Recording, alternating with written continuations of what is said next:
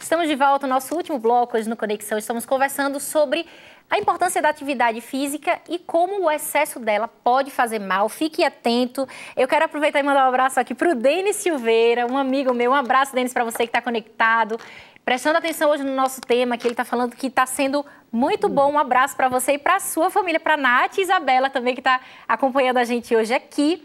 É, doutora Mariana, tem uma pergunta aqui para você, que é a seguinte. Estou adorando o tema de hoje. Opa, consegui fechar, abrir. Agora sim, só adorando o tema de hoje, a pergunta do Matos Bittencourt. Quem tem problema na coluna, pode correr? Eu acho que ele até pode responder melhor do que eu. Tem algumas limitações, né, com relação a, a como você vai estabelecer a corrida, mas de maneira geral é possível correr sim. O que, que você tem a dizer sobre isso, Leonardo? Depende do tipo do problema. né? Isso, é uma coisa bem inespecífica. Problema Uhum. na coluna, né? Hérnia de disco, por exemplo. Então, Não, porque né? a, a, a corrida, ou melhor, o fortalecimento geral que a corrida vai, a- né, Aham. vai ocasionar, ele, ele vai fortalecer a postura, vai ter uma postura melhor e, e os, entre né, os discos ah, vai, vai ter um espaço maior e, e, ou seja, ah, o desgaste da cartilagem ele vai ser postergado. Uhum. Então, eh, esse fortalecimento geral vai acabar beneficiando né, a, a saúde in- Uhum. inteira dele, inclusive geral. é, a, a coluna, mas precisaria saber exatamente que tipo de problema que é. Certo. Tá. Então, é, Marcos, conta pra gente qual é o problema. De repente, o professor Leonardo pode responder aqui pra você, a doutora Mariana também. Mas agora vamos até Minas Gerais conversar com o Lucas, que tem um projeto que incentiva a atividade física nas redes sociais. Boa noite, Lucas, tudo bem? E é profissional também de, de educação física. Tudo bem, Lucas? Tudo jóia. É, boa noite. Eu sou daqui de Minas, professor de educação física. E, é, como você disse, tenho tentado fazer da minha profissão uma forma de ajudar pessoas incentivando a prática de atividade física. Certo. E qual atividade física que você pratica, Lucas?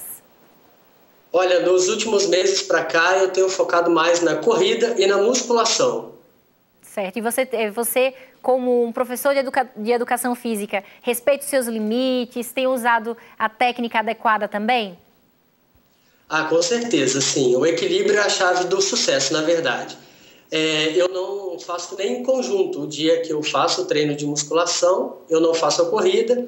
E o dia que eu faço a corrida, eu não faço o treino de musculação. Eu não caso esses dois treinos no mesmo dia para que eu tenha sempre o corpo bem exercitado e também bem descansado. Agora, você é professor de academia também, não é, Lucas? Isso, eu tenho alguns alunos de personal trainer. Certo. E como que é essa, essa realidade da, da corrida de rua? Assim, as pessoas elas estão procurando orientação do profissional, elas estão é, correndo aleatoriamente. Como que é? Como que você avalia essa situação?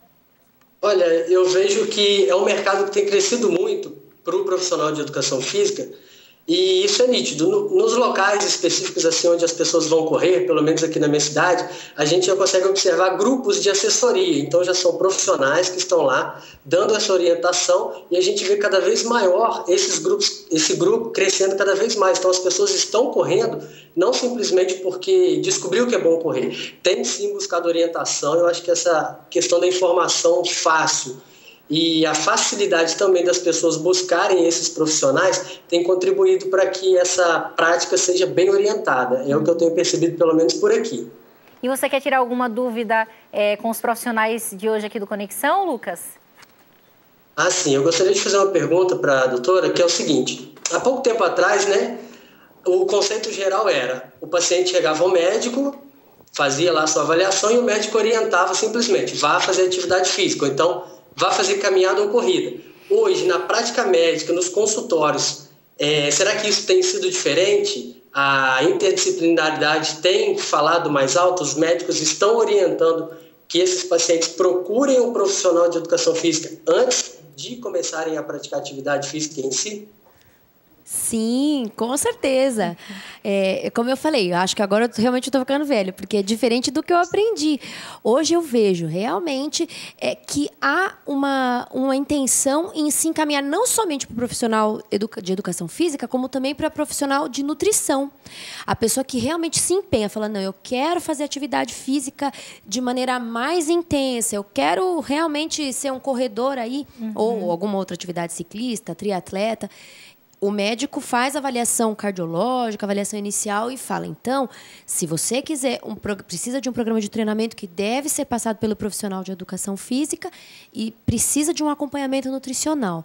E aí é encaminhado para algum nutricionista do esporte, alguma coisa desse tipo. Acho que são os três profissionais principais que estariam interligados nessa questão. É certo. É importante, sim. Quer falar, professor? É, só acrescentar, reforçar. Lucas, é um prazer ter você aqui com a gente. É, só reforçar essa questão que a doutora colocou, porque o, o, a parte de, o treinamento junto com a alimentação, eles formam um casamento perfeito. Uhum. Né? Assim, a gente não pode pensar num treino sem pensar da parte de, de alimentação, parte nutricional. Então, nunca fazer atividade física em jejum, é, é, não se expor a, a, longos treinos sem estar preparado nutricionalmente uhum. falando. Né? Então, tem que andar junto realmente. Né? A dica é muito importante. Consultar o profissional de educação física e o nutricionista e depois ter passado pela avaliação médica e sempre né, voltar é, com E falar avaliação. sobre uma experiência pessoal. Faz toda a diferença fazer atividade física supervisionada por um profissional. Uhum. Eu já tentei fazer outras vezes sem supervisão, fica muito difícil e assim, a chance de lesão é grande. Estamos falando mais de corrida, mas pode ser outros exercícios. Sim. A forma como você você acha que faz não faz diferença nenhuma. Você puxa para cá ou puxa para cá faz toda a diferença na questão de proteger o seu corpo, proteger as articulações. Eu mesmo sou prova viva. É muito importante ser supervisionado, sim. Tá ok. Lucas, muito obrigada por sua participação. Um abraço, viu? Um abraço. Um abraço também para o pessoal de Minas Gerais que acompanha a TV Novo Tempo em peso. Agora é o seguinte, o que é que vocês me falam a respeito dos atletas de final de semana, né? Aquele, os meninos aí que gostam de jogar o futebolzinho, não fazem nada durante a semana, mas no domingo jogam futebol, né? Faz uma caminhada, às vezes vai correr, não faz nada durante a semana, mas aí no domingo vai dar uma corrida. O que é que vocês me falam? Isso é saudável? Tem uma publicação relativamente recente da Associação Norte-Americana de Medicina, no jornal deles, que diz que os atletas de final de semana estão 2,7 vezes mais expostos a problemas do coração uhum. do que uhum. os sedentários. E olha que os sedentários é um grupo que, de risco já, Sim, né? claro. Mas então, porque o atleta de, de, de, final de semana é aquela pessoa que vai e faz um esforço grande sem ter um treinamento, porque o coração é um músculo, né? Então ele tem que ser fortalecido. Então você expõe a um, a um esforço grande num momento sem um preparo, você está exposto a riscos. Tem um detalhe importante até que eu ia acrescentar. Até relatos de aumento de peso com essa prática é, que a gente está falando agora. O cara não faz nada durante a semana, de domingão vai lá jogar o futebolzinho dele. Ou qualquer outra atividade. O que acontece? O teu corpo, ele interpreta isso como uma situação de estresse. Nós temos algum, alguns mecanismos no corpo para reagir a situações de estresse que a gente passa na vida, né? Às vezes você se surpreende como você reagiu diante de um assalto ou qualquer outra uhum. Situação uhum. desse, desse modo. O exercício físico para o malhador de fim de semana é interpretado dessa forma. Há uma, uma, injeção, uma injeção grande de cortisol e outros hormônios, e o corpo, o que, que faz? Interpreta isso aqui é uma situação de estresse. E começa já por si só primeiro que é um esforço para um músculo que não está preparado, mas começa a entrar num regime de acúmulo de calorias, acúmulo porque ele pensa assim, se eu necessito, eu realmente tiver necessidade, numa próxima vez eu estou preparado. Então as próximas refeições pode favorecer o ganho de peso nas, nos próximos três dias, dura três dias esse uhum. efeito. E, e, assim vai. Além disso, a pessoa que não está preparada tem uma chance maior de lesões articulares, musculares e uhum. etc. Agora, pode falar, professor. Então, a recomendação aí é Cinco vezes por semana, 30 minutos. Cinco vezes por semana, meia horinha, meia horinha, tá tudo certo. Uhum. Já não é mais sedentário. Agora é importante, é, uma dica muito importante, não repita o mesmo treinamento ou a mesma atividade todos os dias. Então, uhum. varie. Se você faz caminhada, por exemplo, na esteira ou uma corrida na esteira, não faça isso todos os dias. Então, né, vai alterando a, o tipo de atividade, o local onde você faz a atividade. Então, se você caminha uh, num lugar com grama, outro dia num, num piso mais duro, uh, outro dia na, na terra, outro dia na esteira, mas assim, não faça sempre a mesma atividade no mesmo lugar. Uhum. Agora, para quem quer perder peso, eliminar né, o peso, tem um, um horário que é mais legal para praticar atividade física, de manhã, à tarde, à noite? Qual que é o horário ideal? Legal você ter mencionado isso, Lu, porque é assim, a atividade física ela não traz somente o benefício do momento. Uhum. Ela por si só já deixa o seu corpo com um acelerado, né, com aumentando o metabolismo, que é que, que é isso? Vai aumentar o seu gasto de calorias pelas próximas 12 horas é, e também eh, com base nisso, a gente sabe que aí tem que realmente fazer várias vezes por semana. Não adianta a gente dizer um dia só e resolver o problema.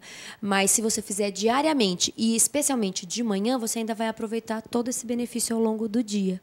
Uhum. É, eu escuto com frequência a pergunta: qual é a melhor atividade física? A minha resposta é aquela que você faz. porque, que faça, né? é, porque depende, às vezes, daquilo que a pessoa gosta de fazer ou do local onde ela está, né, das condições que, que ela tem ali para fazer determinada atividade. Então, assim, aquela que ela faz é melhor, porque ela está fazendo aquilo. Mas se, se eu puder é, falar um pouquinho sobre o ciclismo... Por favor. Porque está tá, tá acabando o tempo, uh, mas a gente não pode deixar de falar isso. Tem muita gente pedalando é, também, né? Tem, então. Tanto o spinning né, nas academias, quanto uh, em São Paulo, por exemplo, a gente escuta muito falar ciclofaixa, ciclovia.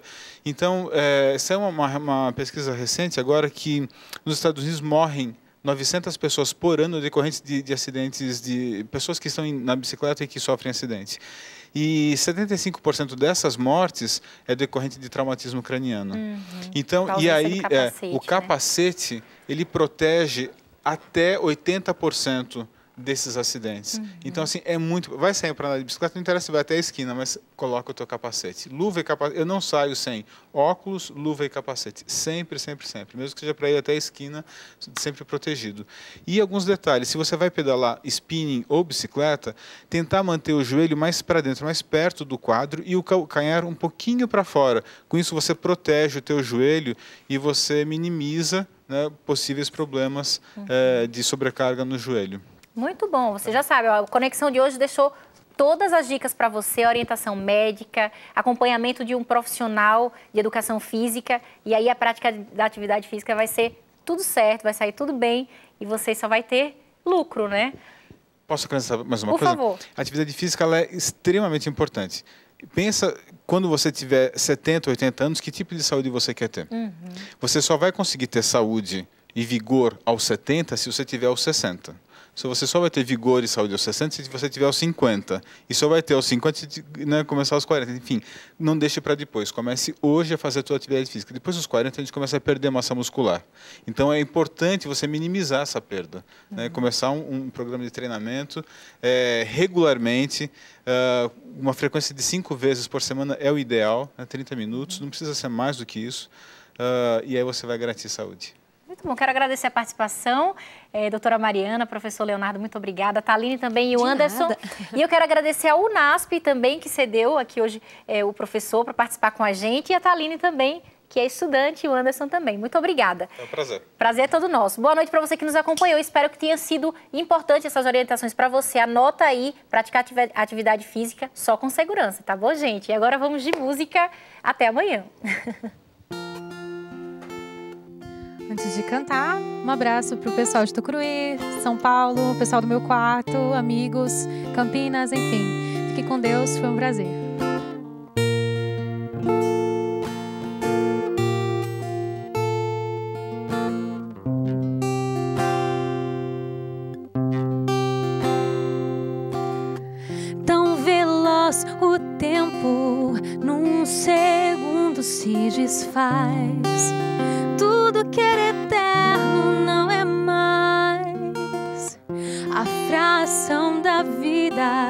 Num pulsar ficou para trás. Tudo que era sonho não é mais. E ainda assim eu corro para perto do meu Deus. A contramão do mundo é a direção do céu. Parecer loucura,